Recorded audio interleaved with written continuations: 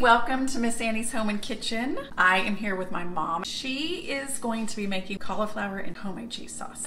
I've already pre-cooked the cauliflower. Now what we're going to take is three tablespoons of butter. Because the butter's melted, we're going to add three tablespoons of flour. And I like to kind of keep stirring it till it's all incorporated into that butter. I've got half a teaspoon of black pepper and I've got three quarters of a teaspoon of salt. Stir in slowly one and a half cups of milk. I just took a block of cheese and cut it into these little pieces. And I've got a cup of this and then you're just going to stir this until the cheese is melted and it has thickened a little bit.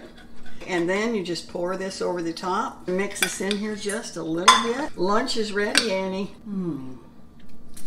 That is so good. That is so good, make your tongue slap your brains. Always remember that you can do what? Hard things. You can do hard things.